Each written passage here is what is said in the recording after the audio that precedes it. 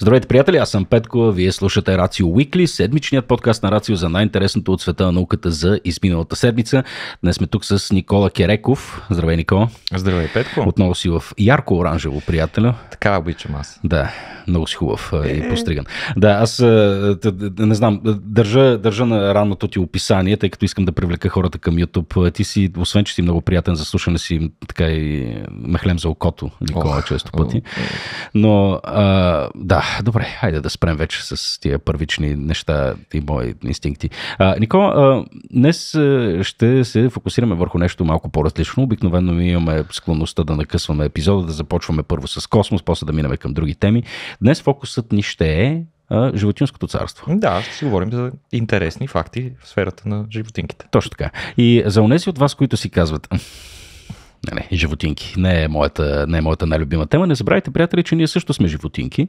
Точно и така. изучавайки животинките, волю-неволю научаваме по нещо и за себе си.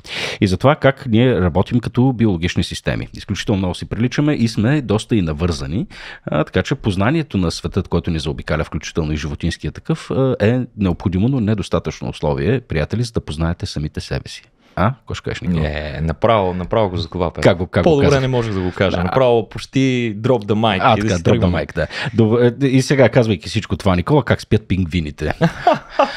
А, Никола, защо? Ама това, това да. е изключително любопитно. В смисъл, някога замислял ли Абсолютно никога не съм се замислял. Никога Никога... съм сигурен, че няма човек, който в момента да ни слуша и се е замислял. Ма това е много често явление, ако се замислиш. Смисъл, е как гледаш всякакви животни, примерно в зоологическата градина, обикаляш, минаваш, виждаш, примерно в рамките на една обиколка, мога видиш 30 различни животински вида. Mm-hmm. Много рядко се замисляме как спят тия животни, вече? Мисля, защото съня е много съществена част от живота на повечето същества на тази планета. И, и то е много необходимо, ако трябва да сме честни. Тъй, но то по същество, съня по същество, е и предимство и недостатък. От една страна, съня ти позволява да си починеш, дава ти време на мозъка да се възстанови, да се да обработи всички видове метаболити, които са се произвели в времето, в което той е бил силно активен. А, това, говорили сме за тези неща, да. за ролята на съня. Също така, по време на съня, много добре знаем, че се обработва информация и се формират спомени. Това вече повече при бозайниците, отколкото при другите видове.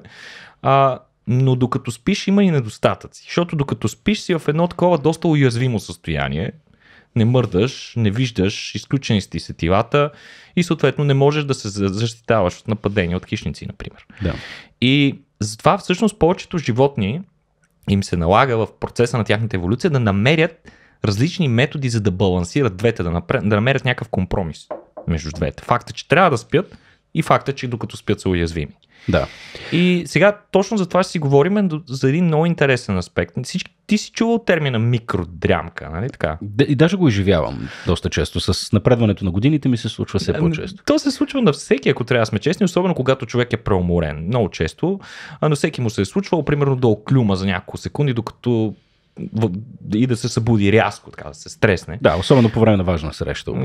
или на не толкова важна. Ами, да, за съжаление, между другото, по време на срещи или еднообразието в офиса най-често се случва подобно нещо и то може да е доста неудобно особено по време на среща, мислейки, че всички са те видяли. Обикновено никой не те е видял, обаче всички после виждат чувството за вина в да. очите ти.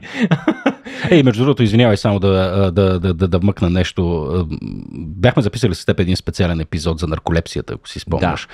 а, който не съм сигурен дали е публично достъпен. Публично. Вече е публично достъпен. А, така, да, призвам хората да се върнат и да, да чуят този епизод. Беше изключително интересен и си спомням един, едно от нещата, които разказваше нашия гост, а, който страдаше от, от нарколепсия, беше способността му, а, то не е толкова способност, нали, но това, че тялото му заспива, докато той е в час, да. но а, той перфектно съзнава какво се случва наоколо и възприема информация. И съответно той разказваше как заспива в час, учителката го вижда, че той спи в час а, и съответно му задава въпрос, нали, не, сега, не мога да се сетя името, моля за извинение към нашия гост, но например Николай, какво казах преди малко? Да. И той перфектно си го казва какво е казал, защото той спи, но възприема. А, това не знам, що го казах, Никола. Ами това е един чудесен пример за състояние, нали, при което вече в случая поради дефектен ген за един конкретен протеин или, или по-скоро не толкова дефектен ген, колкото а, факта, че поне последните данни показват а, проблем на имунната система, която реагира срещу конкретния протеин и започва да го унищожава. И съответно той не може да си върши естествената работа, вследствие на което това, което ние свик... винаги сме свикнали да поддържаме контрол над това кога да спим и кога да не спим. Ето виж, примерно при хората, това е начина по който ние намираме компромиса между двете, между предимствата и недостатъците на съня, като имаме прекрасен контрол кога спим. Да. Обикновено хората заспиваме, когато се чувстваме комфортно, когато се чувстваме спокойни и най-вече когато спим в собствените си домове. Даже имаше едно страхотно изследване, което пък показваше, че когато отиваме на екскурзия, да кажем, и попадаме в непозната обстановка, в хотел, в Airbnb или, няк... или в апартамента на приятели, а, попадайки в тази а, странна обстановка, обикновено първата нощ не спим добре. Да, първите няколко дори. Или първите няколко. Но, Те всички процеси на тялото се сдухат, учените, учените смятат, че това е чисто еволюционно. Тъй като попадайки в а, различна обстановка, а, тялото и мозъка ни не чувства това място достатъчно познато, т.е. в него могат да се крият скрити заплахи, които то съответно трябва да обработи по някакъв начин, да се запознае с мястото и по, по един особен начин мозъкът ти те държи на стрек през цялата нощ, като периодично те буди няколко пъти. Да. Просто да. за да си сигурен, че това явно еволюционно се е установило, просто защото нещото еволюцията конкретно има за цел това, ами просто защото хората, които са имали този тип реакция, са оцелявали повече от да, другите, които са, са заспивали от... като пънове, където и да ги сложиш. Точно така. А... Добре, и микродрямката е един такъв вид адаптация, реално, както ти казваш. Нали? Да можеш хем да си почиваме, хем едновременно с това да сме да, извън... в съзнание. Да, извън удобството, извън удобството да оклюмаш на някоя среща, разбира се, микродрямката може и да е направо ужасяваща, ако ти се случи, докато си на волана, докато шофираш О, да. на дълго разстояние, или ако режеш нещо на струк или на някаква друга опасна машина. А, но всъщност хората, които правят това редовно и продължително време през живота си, не могат да отрекат, че подобни неща не са им се случвали.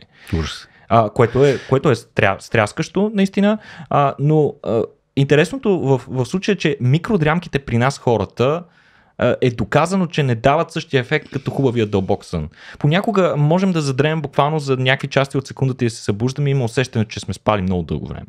Обаче това не е иллюзорно. Всъщност умората mm-hmm. продължава да стои в нас, продължава да се натрупва и в крайна сметка ще ни събори в някакъв момент. Да. Тоест при нас хората на късания сън е като цяло непълноценен. Обаче не така стоят нещата при пингвините, Петко. А, сега днес ще ви разкажа за едно изследване на френски учени, много интересно, и французите се занимават с пингвини. А, та, френските учени са установили, че пингвините могат да спят, забележи Петко, по 10 000 пъти на ден. Абе, той има ли толкова секунди в деня? Не, не има, разбира се. Но... 10 000 пъти на ден, като а, това, което те са установили, че въпросните микродрямки, в които те изпадат, продължават средно по около 4 секунди. Mm-hmm.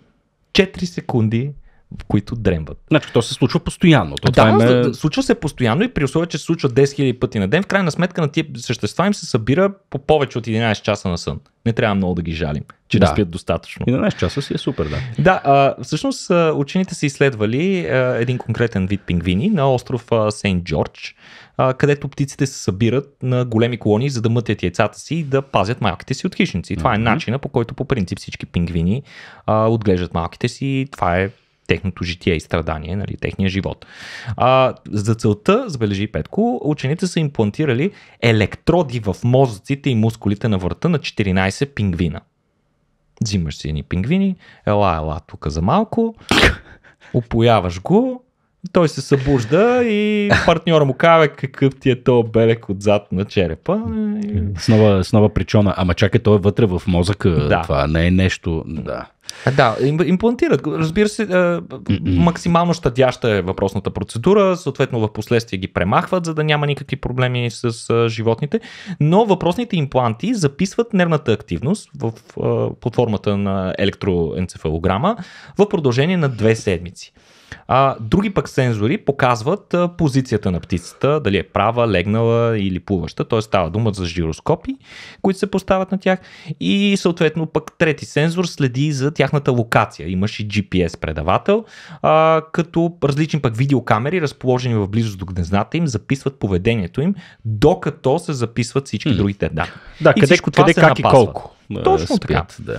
А, това, което учените установяват, че мъжкия и женския пингвин а, обикновенно, начина по който протича техния живот е, че те се сменят докато отглеждат малките си, а, като един отива да яде, докато другия е на пост при яйцата или съответно при малките. А от това сме го виждали в великата френска продукция Le Marche de l'Empereur. Императорските Мар... пингвини, да, пингвини. характерно е за повечето пингвини. Разбира се, тези периоди са различни. При императорските пингвини траят доста по-дълго въпросните смени, мисля, че по няколко седмици. Mm-hmm. А, като, докато всеки от а, този конкретен вид пингвини е на смяна, а, той трябва да прекара 22, 22 часа е продължителността на смените. Сега, докато пингвинът който е в гнездото си, е на пост, а, се оказва, че те много често прибягват към въпросните микродрямки или така наречени прояви, а, интервали на микросън. Да. Както казахме. Ти представяш си каква скука е 22 часа мътиш? Ами, да си е, да. Точно така. И, и, а как са го установили, че изпадат в такъв сън. В смисъл, малко трудно е да гледаш един пингвин да оклюма. Mm. Пък и това нещо явно се случва доста по-бързо и с доста по-малко външни прояви, отколкото сме свикнали да разпознаваме у хората. Затова всъщност учените са поставили въпросните импланти в мозъците им и те са установили наличие и поява на така наречените бавни мозъчни вълни, които са признаци, че съответното животно в момента е в ступор, в смисъл mm-hmm. спи. Mm-hmm. А, иначе, дори тези, които в момента са в морето да се да похапват, и те изпадат във въпросните микродрямки, макар и по-рядко и обикновено за кратки интервали, интервали докато са на повърхността. Нали, влизат, хапват, малко им се да. доспива, излизат, тремват за малко и продължават. А, сега, Интересното е, че връщаме се на тези, които са вътре в колонията и си пазят яйцата. Интересното е, че тези пингвини, които са разположени по периферията на колонията. Защото ти си представи една огромна тълпа от пингвини и разбира се има такива, които са натъпкани вътре в центъра, но има и такива, такива които са по периферията. Точно тези, които ние виждаме най-добре, наблюдавайки колонията да. отстрани. И оказва се, че тези по периферията спят на по-големи интервали, не на тия 4 секунди, ми на 11, 20, 22, 25 секунди. В смисъл, дължината на съня е по-голяма? Точно или? така. Ага. Дължината на тези микродремки е по-голяма. А, учените смятат, че това се дължи на факта, че бидейки разположени по периферията, те трябва да бъдат по-наблюдателни от тези в средата, които фактически нищо не виждат, отколкото освен задника на друг пингвин пред Да, да, но те спят по-дълго. Това не е ли обратното на това, което Не, не, не. Слушай, трябва да са по-внимателни и това ги уморява. А. Те непрекъснато сканират около А-а. себе си, което им коства някаква форма на умствено, мозъчно натоварване, което им отнема повече енергия. Mm-hmm. Съответно, те се и уморяват повече и имат нужда тези дрямки да бъдат по вероятно и под духа, като си по периферията. Интересното е, че за разлика от нас хората, този странен сън на такива микроинтервали е напълно здравословен за пингвините, които могат, имат способността много рязко да преминават от сън към будност. На штрак. Буквално. Да. Мисъл, оглеждаш се, е, няма нищо интересно, бам. А, интерес, друго любопитно в случая е как е възникнало това нещо. В смисъл, как се е проявило в еволюцията. И според учените това е някаква форма на екстремна форма на адаптация към необходимостта пингвините да са непрекъснато на штрек. Тъй като пингвините, те са хищници от гледна точка в, докато са във водата, но през цялото останало време са плячка за други хищници. Да. За по-върховите хищници. И, и, и според учените, а, това може да е именно последствие от живота в голяма социална група. Това е пък друга причина, а, според която може да възникнат този, тази форма на късен сън, защото в а, голямата социална група около теб непрекъснато има други пингвини, има много шум. Mm-hmm мик, мик, мик, мик, нали, други малки и така нататък. Представи си, големите колонии достигат до няколко десетки хиляди индивида. Да. Така че а, при всички случаи не е най-доброто място човек да се отпусне и да си заспи едно хубаво, да си направи едни 8 часа. А, И освен това, както казахме, пингвините трябва да внимават и за хищници, а в една голяма група... Абе, извинявай, какво яде пингвини? Косатките там. Не, е, а, ко, ко, кои са хищниците, които ядат пингвините? Да, косатки, различни видове акули. Ама не и на сушата неща. На сушата мисля, че няма. Или? Тюлени също така. Тюлени. Да. Този... А, а, как се наричаше този тюлен? Не, тигров. Нарвал, а... Нарвала е кит, бе, Петко. Да. да. Не, не, не, не. А, не Тигров, как се наричаше? Морския не, лъв. Не, не, морския лъв е друго. В смисъл, м- има един много брутален хищник. А, като сме си говорили с хората, които са в а, Антарктида, те често показват а, снимки на него. Той е наистина върховия хищник. Той пак е един такъв а, тюлен. Ох, как се казваше? Забравих му името. Но един, да. от, един от тюлените ги яде най-много, между другото, пингвинчетата. Ага, та, внимавайки а, за хищници, всъщност това е една от причините, нали, защото а, говорейки за живота им в големи колонии, нали, една от очевидните причини е, че могат да си помагат при отглеждането на малките, има много индивиди и така нататък. Обаче една от съществените причини според учените да образуват такива големи колонии е факта, че когато има много индивиди от един и същи вид и те са насъбрани на едно място, винаги има поне няколко, които гледат едновременно в много посоки и поддържат цялата колония на штрек. Да което е супер. И дори ученици са наблюдавали, че обикновено пингвините, които са по периферията, не седят дълго време по периферията, ами има една динамика в колонията, която тя непрекъснато се придвижва, те се движат напред-назад. Сменят пейзажа, за да не им Сменят стане... си постовете. Да, да. Което е супер. А, та, а, различните форми, различните видове организми на планетата се сблъскват с различни предизвикателства и здравословната форма на сън може да е напълно различна за тях.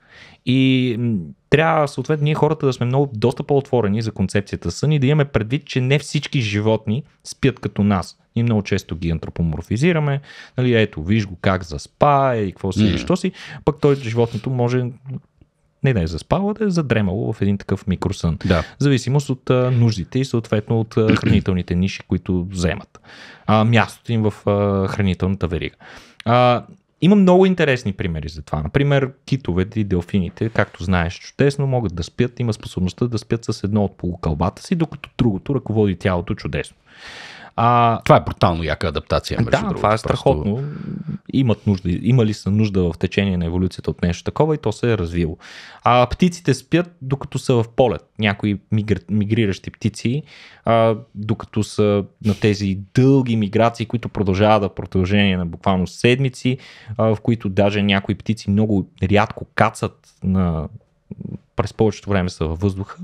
А там обикновено по време на миграцията не ги дебне нещо съществено като да. проблем и така те те се реят. Реят се или реят. се влизат в един такъв своеобразен автоматизъм на мускулатурата, в който също могат да се и придремват и да наваксват, съответно да, са, да, да харчат по-малко енергия, да. която им е жизненно необходима, за да могат те да стигнат невредими а, на финалната си дестинация. Обаче има и други много интересни примери. Аз днес ще ти разкажа за един друг такъв. Само преди да започнеш, извиня, леопардов тюлен е явно. Леопардовия тюлен е, да. Което искрено се надявам окраската му да не е леопардова, защото това ами ще. Той Жорката мога да пусне някаква снимка по някое време на това животно, особено когато е озъбено, няма нищо общо с другите тюлени, Верно. си свикнал. Въобще не изглежда толкова мило и... Некъв звер. Абсолютен звяр е. Абсолютен звяр, най-свирепия хищник на Антарктида, където... А и той, той ловува няма... на земята? Няма бели мечки. Няма бела мечка, да. да.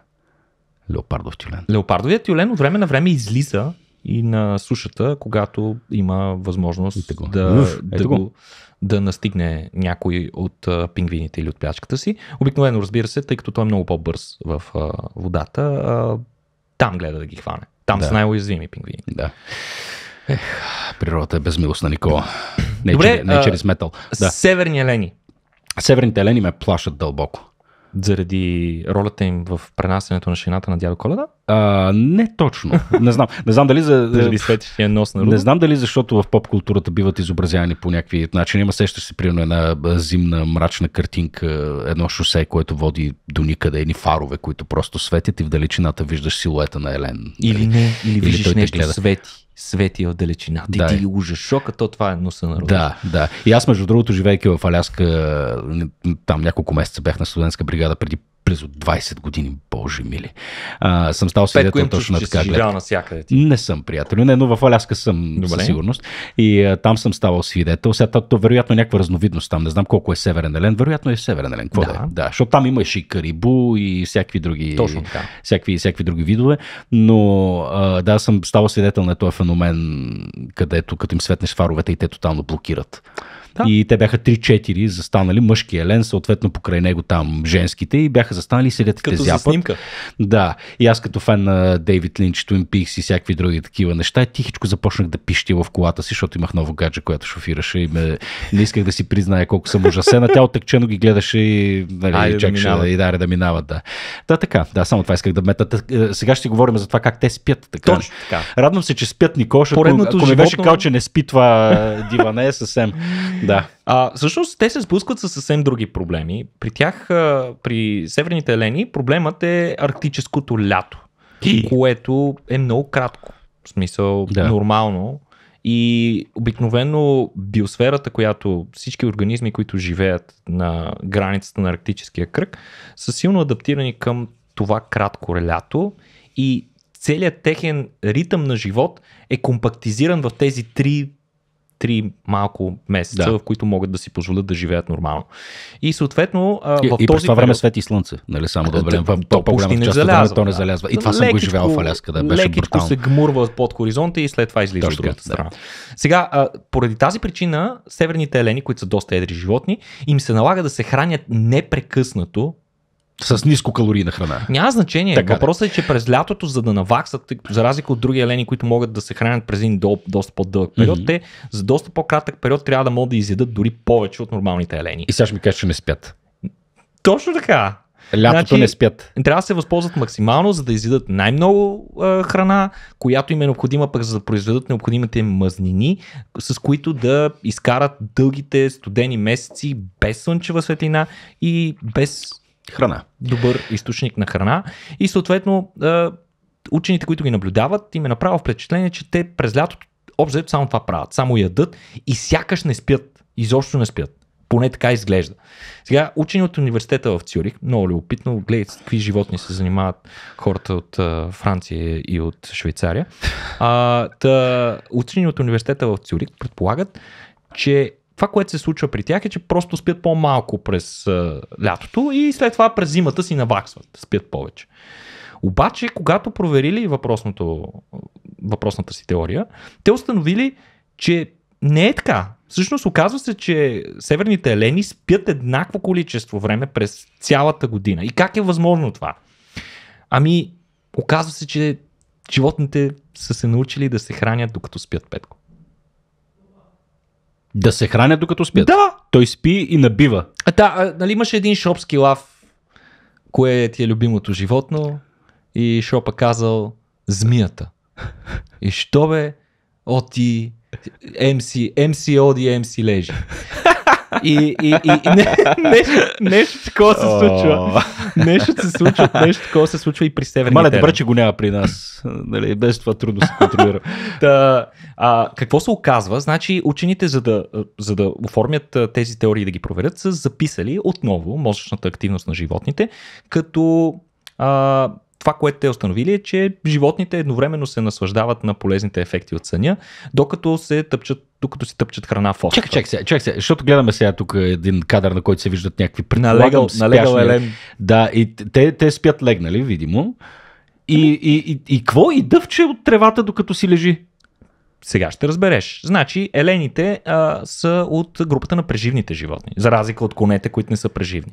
Я, били разяснил този термин? Точно така. Значи, а, преживните животни смилат целулозата, т.е. те могат да използват един от най-разпространените полимери в биополимери в а, на планетата ни, това е целулозата в растенията, която дава тяхната здравина, устойчивост и така нататък. Mm-hmm. Но целулозата е много сложен и труден за смилане а, полимер и съответно повечето животни не, нямат, не могат да го смилат или не го смилат напълно. А съответно преживните животни са намерили начин да извличат енергия от този източник по по-различен начин. Това са като... двата стомаха, нали? Повече.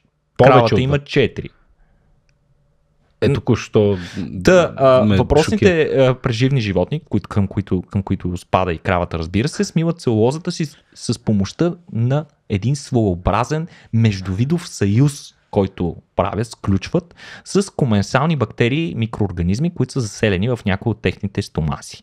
И съответно храната при преживните, защо се наричат преживни на български, това е преживянето, е процесът при който храната непрекъснато циркулира между стомасите и устата им, където се досмила. Значи представи си първо надъвкваш храната, преглъщаш я, тя влиза в стомаха, изложена е на ензимите на тези бактерии, които постепенно започват да смиват нещата и те се смиват. Но тъй като храната е на една буца, така, бактериите общо взето са обработили храната, която е по периферията, храната с която ензимите могат да имат контакт, докато това в сърцевината остава несмляно.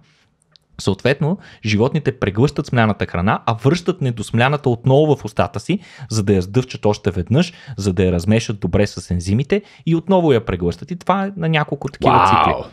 По този начин работи преживянето, Петко. Окей, okay, супер. да, това предполагам сме го учили в 6 не знам, клас. Не знам дали си се замислял, но общо взето така е, това е начина. И всъщност това е доста повторяем процес, който лесно би могъл да се автоматизира. И сега, учените, за да са сигурни наистина в своите резултати, а, са следели мозъчните вълни в е, отново електроенцефалограма, като при пингвините, като са имплантирали, а, поставили са такива датчици на 4 възрастни женски в стадо Северни Елени в Норвегия.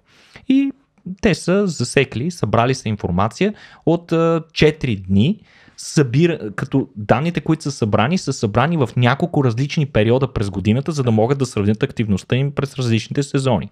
Съответно, събирали са данни през лятното и зимното слънцестояние и около равноденствието. Три различни периода. В един имаш най-късия ден, в един другия имаш най-дългия ден, в третия имаш равен ден и нощ. И това, което те са установили, е, че има еднаква обща продължителност на съня по всяко време на годината при тези еленчета. Сега, колкото повече време прекарвали животните докато преживят, толкова по-отпочинали и изглеждали на външен вид, защото те сложили камери и да, да ги гледат. Електроенцефалограмата разкрива мистерията защо. Ами всъщност оказва се, че докато преживят, вълните са им като при дълбок сън. Дълбок сън, Петко.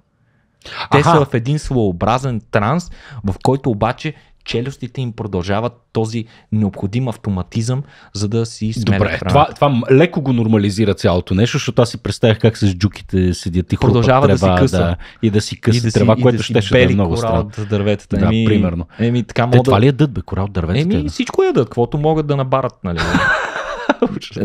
Той тогава е една своеобразна експлозия не само за животните ми и за растенията. Всичко се развива много бързо, започва да цъфти, да избоява, така че те се възползват този период да изядат колкото се може повече. Да. А, това, което те наблюдавали при въпросите Северни Елени, много прилича на сън. Докато преживят без, докато преживят, животните не се движат много и не си взаимодействат с околните елени, а, като съответно не реагират и на движението на околните елени, нещо, което биха направили, ако бяха будни. А очите им затворени ли са? Не. С отворени очи. Да. Да. Понякога са затворени, друг път са отворени, но mm-hmm. изглеждат такива полубудни. Но всъщност са в дълбок сън, което е много интересно. Mm. А, какво направили учените? Значи, учените са гадни хора. Трябва да да, да го знаеш това. Значи, те не се свенят да прецакат нещо, въпреки че знаят, че най-вероятно това няма да се хареса на съответният организъм, който изследват. Еми, трябва да щупиш Но нещо. Трябва да, да щупиш нещо, не. за да го разбереш. Точно да. както детето опитва да разбере играчките си, като ги троши в пода. Да. А сега учените съответно, какво са направили? За да проверят теорията си, са решили да държат един елен буден. Не са му давали да задремва. И два часа са го тормозили. Е, любопитно ме как. Не, не пише. С някакви му методи, сигурно. Не, не. Светла, светла стая и кофти музика, нали, до, до heavy Потапяне. Да. Такова. Waterboarding. Waterboarding. да, е, чапа а, та, държали са не знаем по какъв начин, но са държали въпросния лент буден 2 часа и електроенцефалограмата, това, което е демонстрирало е постепенно натрупване на бавни вълни, което означава, че животните се уморяват и имат нужда от повече сън, за да се възстановят. После ги оставили обаче, същите елени, които са турмозени да не могат да спят, оставили ги да си преживят спокойно и електроенцефалограмата им започнала да изглежда нали, след като попреживяли известно време mm-hmm. и им измерили а, въпросните мозъчни вълни, установили, че животните изглеждат като след дълбок сън. Супер, свежи, всичко им е супер. Иначе въпросната повторяемост на движенията при преживяне, според учените, вероятно ги вкарва в полубудно състояние, подобно на медитация. Тоест, забележи колко, колко възвишено, според учените, северните еленчета всъщност медитират, докато преживят. Изпадат в едно такова а, самовзиране. Като си говорим за антропоморфизация, нали? самовзиране. Да. Не, най-вероятно просто си почиваш, все пак трябва да влача тази тежка чена с всички подаръци на всички деца. В крайна сметка и това изисква енергия. На фона... Те са си работен кон в някои Точно да, Чукотка, Якутия и прочие места много, си. Много места си, има. Да. Все още запазени номадски племена, които се движат заедно с селените си. Да, да. Де, скоро няма да ги има. Те са на фронта в момента повече. Ей, ви трябваше. Изкуших се. Изкуших се да ви разваля подкаста сега с кофти коментар. Така. Да ви. Да, да. А, на хората, разбрах. Да. А, мисля, Ти си учен, Никола. Давай. А, какво давам? А, нататък, да. да продължаваме. Ами, айде, продължаваме нататък, добре. А, ами... Защото си говорихме за Елени. Да. Ми, нали, смисъл всички им се радват на елените. Не, че... аз не им се радвам. Както да, между другото, аз не бих предпочел да спя докато се храня. Да. А, нали, ние не преживяме, ама смисъл, това е едно малкото удоволствие, което човек може да се позволи всеки ден. Храната. Аз поне така гледам на нея, не знам. Да, още, още повече пък докато спиш да си дъвчеш повръщаното няколко пъти, нали, това е, защото, да, извинявай, малко съм като 5 годишен, ама е, процеса на преживене като такова ми прозвуча. Ами, да, да. В смисъл, а, ние да. се наслаждаваме на храната, докато елените очевидно ги извършват този процес доста по-машинално от да. нас. Нямат нужда. Може да е така. за Бога. смисъл. Да, ама за сметка не, това те, те медитират за разлика от мен и тебе, Никола. Е, така, е, така. Точно така. Но, ето, че проклятието на Елена ги е застигна. Какво е проклятието на Елена? Ами, нещо се случва петко в Северна Америка с а, елените. Нещо, което а, редица учени и ловци и хора, които наблюдават дивата природа, започнаха да сравняват с зомби апокалипсис. Оф, Никола. Така Go on. Представи си. А, благодаря ти, благодаря на Жорката от екипа, който ми пусна нещо на екрана, което ще ми развали съня за скоро. Елен, за, за дълго време, вероятно. Елен. С кръвчица по устата. И с кръвчица по устата, червени светещи очи и пожарища на заден фон. Зад него, добре. Е, какво, е, е, елените идват да ни, да ни какво? Не, оказва се, Петко, че проблемът е доста, доста по-сериозен и ситуацията е доста по-тъжна от това, което звучи пък като просто поредния холивудски сценарий. А, някакво продължение на птиците на Хичкок, елените, представи си. А, не, а, ситуацията изобщо не е смешна. Всъщност става дума за тежко заболяване, което се разпространява винообразно в Северна Америка. Става дума за заболяване наречено хронична изтощаваща болест и тя се причинява нито от вирус, нито от бактерия, а от приони. Спомняш ли си какво бяха прионите? Какво беше? Я, дай да поговорим за прионите. Да ами, малко прионите, най- просто казано, представляват погрешно нагънати бълтъци, които се натрупват в определени части от тялото, най-често в нервната система и нарушават нейната функция. Да, смисъл Сега. не е нещо живо, тъй като като говорим за приони, че причиняват да, нещо. Са, да. Те са, можем да ги кажем, инфекциозни молекули. Да. А не okay. нито организми, нито вируси. Инфекциозни молекули, те имат ужасяващата способност, освен че са погрешно нагънати и, и коагулират в едни такива своеобразни плаки, а, купчини от такива протеини, а, които не могат да бъдат разградени по никакъв начин от ензимите на организма. Те имат лошата способност при взаимодействието си с други протеини също да ги карат да се нагъват по този начин. Тоест това е една за молекулна зараза, която протича на едно субклетъчно ниво. Много са интересни. Uh. Ние знаем доста малко за прионите, още по-малко знаем как са възникнали и защо и каква е причината да, да продължават да се разпространяват. Много учени смятат, че е просто някаква случайност, която се е случила с течение на времето. Но конкретно при елените въпросното прионно заболяване води до натрупване на такива дефектни протеини в нервната система и мозъка. И има много интересен момент. Заболяването при тях е остро заразно. Тъй като нали, свикнал си при там луда крава, синдрома луда крава, Кройцфелд Якобс mm-hmm. а, е нейната проява при хора, както и при някои а, отдалечени племена, които имат а, така атавистичният навик да се продължават да се хранят с, мозъци. с, с мозъци, с някакви канаби, кани, канибалистични наклонности. При тях се среща друго заболяване, нали, което се нарича куру-куру и така нататък. Всички тези малкото такива прионни заболявания, които знаем, обикновено са свързани с това, че а, трябва да се храниш или да приемеш под някаква форма останки от а, друго животно, което е страдало от това заболяване. Да. Например, а, в а, при хората много голям проблем беше с желатина, тъй като той се получава от смлени кости на говеда, а в костите има костен мозък и всъщност костния мозък е една от местата, където има огромна концентрация на такива плахи. И това оцелява. И Ето, то, естествено, това е най-интересното. Тия протеини са супер устойчиви, не просто на ензими, те са устойчиви и на термична обработка, и на различни видове, на смисъл тези неща, които сме свикнали да използваме за санитария, да кажем спирт и така нататък, нищо няма да направят на прионите. Но любопитното при тези елени е, че тяхното прионно заболяване е много остро заразно. Те могат да се зараз, заразяват от елен на елен, като последствията от а, проявите на заболяването, че животните се държат много странно, изтощени са, движат се некоординирано, а ловците са забелязали характерен празен поглед в елените. Uh. Което е много интересно, в смисъл явно те имат време да ги понаблюдават, докато е, гледат от, да. през оптиката а, от а, километри по И вижда, че не те гледа както трябва. Да, и, и, и те, те ги сравняват с, с зомбита. Всъщност, а, оказва се, че въпросното заболяване не е характерно само за северните елени, а се разпространява изцяло в семейството на еленоподобните, включва благородния елен, лапити, лос, карибу и северния елен, разбира се. За съжаление, заболяването е абсолютно нелечимо с 100% смъртност. 100% на смъртност. 100% смъртност. прием си мъртъв. Си over и няма, никаква, няма вакцина, нищо не може да се направи.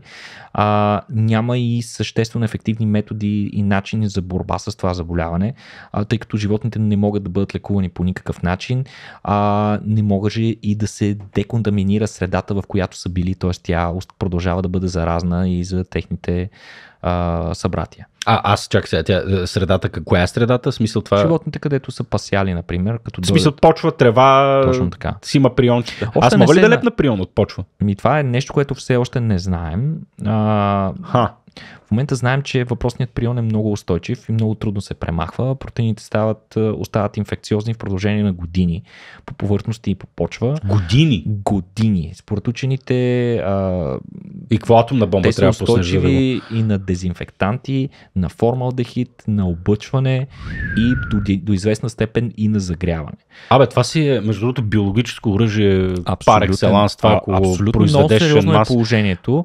А, заболяването наскоро е било регистрирано и в Йеллоустон парк, т.е. то е достигнало и до защитените зони на Йеллоустон, което е където се намира и най-богатото биоразнообразие и численост на диви животни в щатите. Съответно, това е потенциално, има огромни последствия за популациите от еленовидни същества. Учените се опасяват, че може да прескочи и видовата бариера, въпросният прион, Ай. и диви животни да започнат да се заразяват, включително добита кучета, дори хора. Един от големите проблеми на този етап е как, ще, как се случват нещата и с хищниците, които се хранят с тях. Сега, американските власти съветват е, съответно всички ловни дружинки и хора, които се занимават с лов или изобщо всеки, който попадне на, на животно, а, или пък нали, при отстреляне, при организиран лов, когато се получават много отстреляни животни, а, да бъдат тествани животните и при положителен резултат месото им да не бъде консумирано. Mm. А, това е специално обръщам внимание на ако има някакви хора сред нашите слушатели, които в момента ни слушат, не знаем защо от щатите. А, надявам се това, което ви казвам, да е интересно и а може би от щатите и при нас има елени неща или при нас ги няма При нас тия... го няма това заболяване, за сега е само в Северна Америка. И никога не е засичано. Да, през, последните, през последната година забележи в Штатите 2023 са тествани 6700 такива животни и заболяването, отстреляни животни при лов и заболяването е установено при над 800 от тях. Това е много сериозен процент да, на заразеност. Повече. А, повече. Да. И а, установено е в 32 щата и в 3 канадски провинции. Тоест обхваща вече доста сериозна част от Северна Америка. Според учените съществен факт в разпространението на заболяването е високата концентрация на животните. А, според тях основен фактор за това са местата за изкуствено подхранване на дивеч, които дават възможност на елените да достигат числености, които при други обстоятелства те не могат Човек, да достигнат. ние сме виновни. Ето, стигаме и до това, защото логичният въпрос е, добре, това нещо защо се е появил, защо трепе елените, кога се е появил. Според учените то винаги го е имало или поне е било mm-hmm. от дълбока древност е присъствало в еленските популации, но никога не е имало толкова сериозни ефекти и не се е разпространявало на толкова голяма площ, просто защото има естествен баланс, при когато животните започнат да намаляват, те започват по-малко да се заразяват и нямат възможност да, да, да като се са по-нарядко, животното по-скоро ще умре преди да зарази някой друг. Точно нали, така. Да, да. Точно така. А, друг фактор според а, учените е избиването на хищниците в а, щатите и mm-hmm. рязкото mm-hmm. намаляване на тяхната популация, а, като а, ролята на хищниците в този случай е те да намерят болните животни, които още в ранните прояви на заболяването са значително по-бавни и некоординирани в движенията си от техните събратия. Хищниците имат прекрасно око за това кое животно ще им коста най-малко енергия. Кой гледа с празен поглед. Нали, да. Точно така. Да. И този, това животно веднага бива набелязано, бива изядено на време от хищника и съответно по този начин а, то не може да зарази много други, други животни от стадото. Освен това, интересното е, че повечето хищници се оказват, че са абсолютно резистентни на прионите което очевидно е някакъв биологичен механизъм, биологичен баланс, който съществува от вероятно милиони години. Mm. А, това, което трябва да фокусираме тук, защото нали, някой от слушателите ни ще кажа, аз тия става Америка, бе, само за нея говорите, нали, нищо интересно, но това, което се случва там е нещо доста важно и трябва да му обърнем внимание, тъй като въпросното заболяване, което унищожава а, еленски популации и е силно засегнало животните там, много лесно може да бъде пренесено и в Европа. Тук имаме също големи популации на различни а, елени. Нямаме никаква причина да смятаме, че нашите елени са резистентни на въпросният а, прион. Съответно, всякакъв вид продукти, като дивеч, пренасене на елени и така нататък, трябва със сигурност да бъде силно ограничено и не съм сигурен, че европейските власти достатъчно сериозно наблюдават ситуацията там и нещо все пак може да се случи. Mm. Нека напомним, че по подобен начин се разпространява и инвазивното заболяване африканска чума по свинете сред mm-hmm, дивите mm-hmm. популации на глигани из цяла Европа и Азия. Нещо се е случило, нещо е дошло от Африка и съответно дивите свине в Африка имат известна резистентност към това заболяване, но популациите в Европа и Азия нямат. Хм. Така че поредното нещо, за което доста притеснително нещо, което може да наруши баланса в екосистема. Съвсем наскоро четах за един подобен, то не е подобен проблем, той е също съвсем различен, но като си говорим за инвазивни видове в Северна Америка, а, преди, не знам, няколко десетилетия, вероятно столетие, близо кръстоска между обикновено прасе и див, mm. кажа го е бор, wild бор, как е на български, и глиган, да. Моля за извинение, задавих се с кофти чай. Та, а, кръстоската съответно направена да се повиши мускулната маса, нали, за да има месо и да. такова, но съответно, както обикновено се случва. С добри самариански цели. Точно така, но съответно, нали, както се случва обикновено, изтървано в природата това същество, то е двойно по-голямо от нормалните глигани, а, стадно е и а, в момента има изключително сериозен проблем, тъй като популацията им е нараснала с огромни количества изключително умни, изключително агресивни и а, нали, действат на, на, на огромни групи, като към момента застрашават предимно съответно земеделски продукции. И, съответно хора разказват, че цели хектари, цели декари от картофи, зеленчуци и такова биват опустошени за минути. Да. Буквално минават от там няколко стотин, изриват, изриват абсолютно всичко.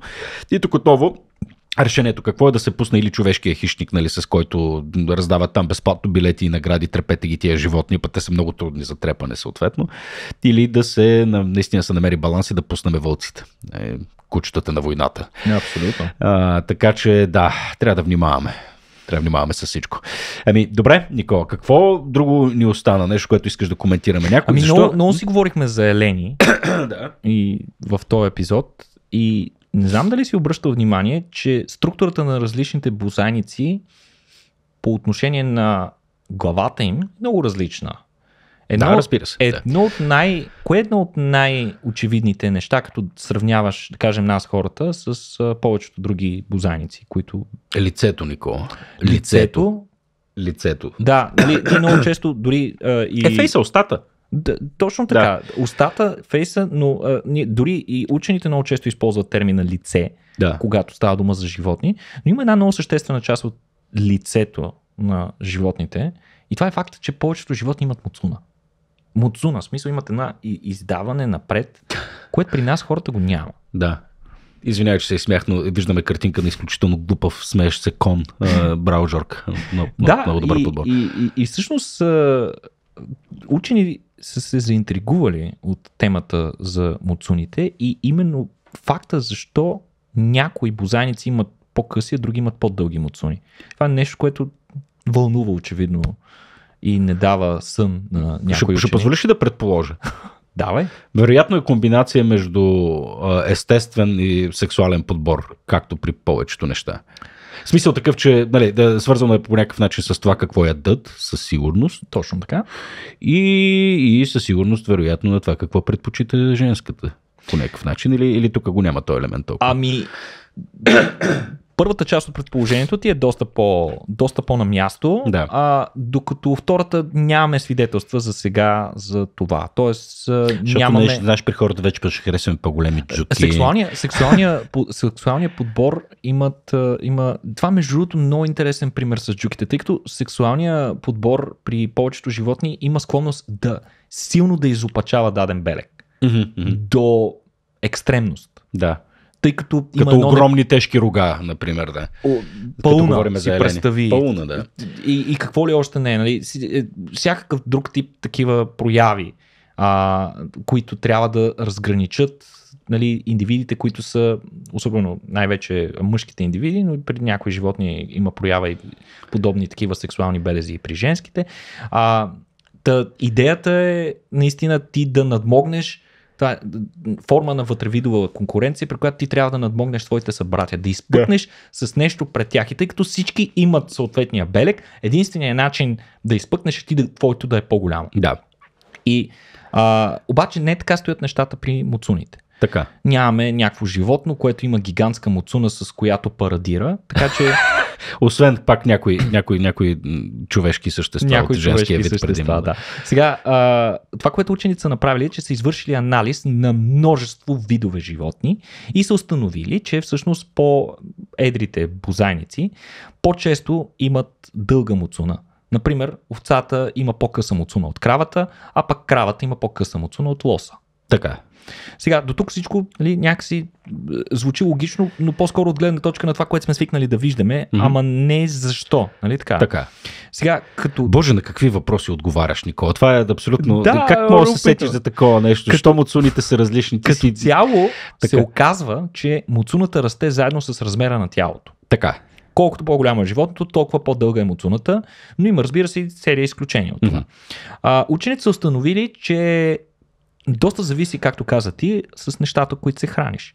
Тоест, тук има вкарана доста и биомеханика. А, най-вече, например, ако имаш нужда от силна захапка, с по-малко животно, муцуната ти естествено би се скъсила. Това е защо е? Защото при по-къста муцуна има по-малка площ на захапката, следователно много повече сила може да се концентрира на тази малка площ и освен това пък мускулите, които а, ръководят челюстта, са много по-близко до костите на челюстта, което им позволява да предадат по повече сила по-ефективно на, тези, на тази захапка. По този начин може да имаш много силна захапка. Сега замислих се веднага за крокодила, който е нещо друго. Той не е точно бозайник, ама в смисъл, той, доколкото знаме, също с най-силна захапка. Едно от животните Дълга му захапка. обаче, но, но, то пак цялото е челюст. То цялата глава е челюст. То е цялото е, той е нещо той има, друго има там. съвсем различна роля. Даже е, да. чудесен пример дава, защото зъбите и челюстта на крокодила никога не са били предназначени за дъвчене те и затова са по този начин разположени. Той реже, да. И той или реже, но основната цел е да задържи плячката, да я хване в безпогрешна хватка, при която тя да няма никакъв шанс да се отскубне, след което крокодила най-често а, стратегията му за убиване е да завлече плячката под водата и да я отдави.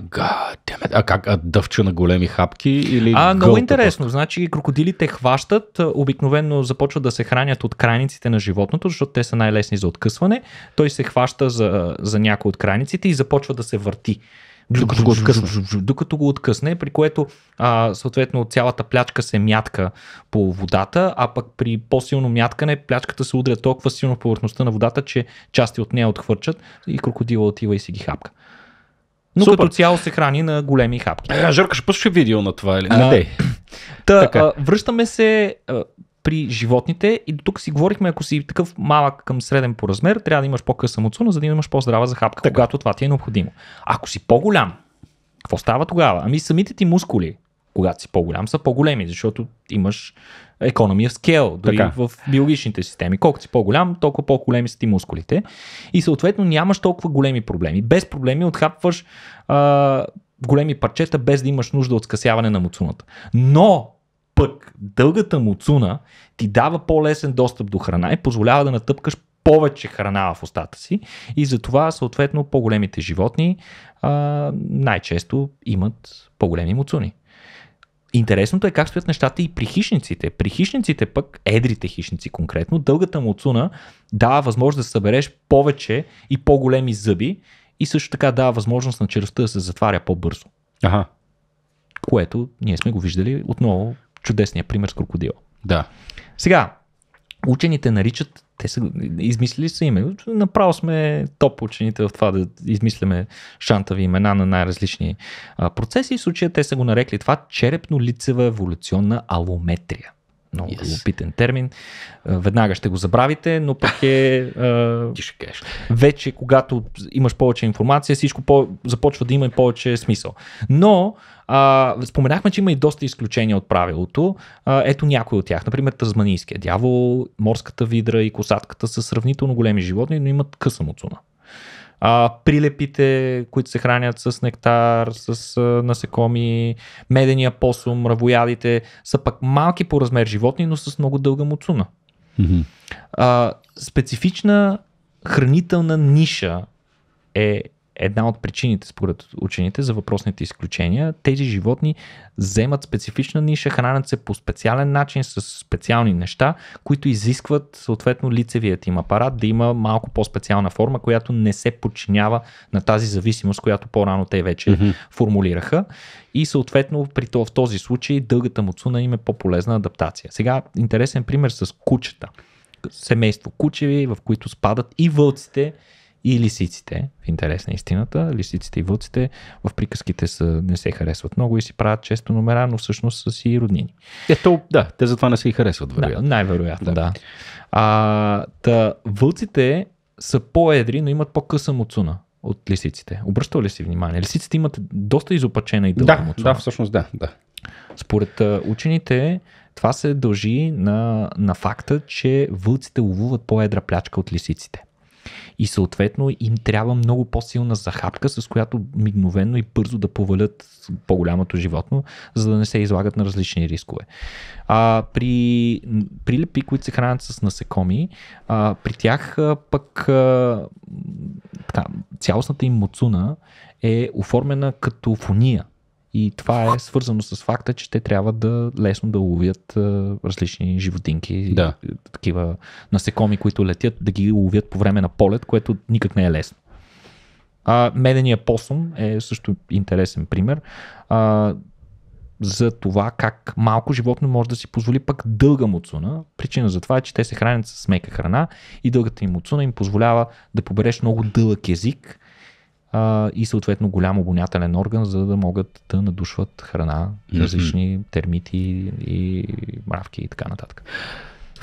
Ами, да, страхотно, Никола. Между другото, пак възползвам се да призова тук нашите слушатели, когато могат, ако могат, пък и ако искат, да влязат и в нашия YouTube канал, където да гледат тези видеа на живо, не само за да видят красивата къса муцуна на Никола Кереков, но и придружаващите и опосредстващи нашия разговор картинки. Много сладки муцунки се видяха тук преди малко, докато си говорихме. Така че, да, приятели, може да чеквате и нашият YouTube канал и пък вие вече, които сте го направили, може да лайкнете, да се сабскрайбнете седнете, да ударите към банк. Има ли още към банка?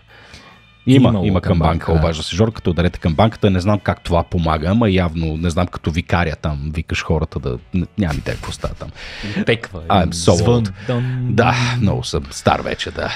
А, споделяйте, говорете за нас. Да, сър. Чакайте, Жор.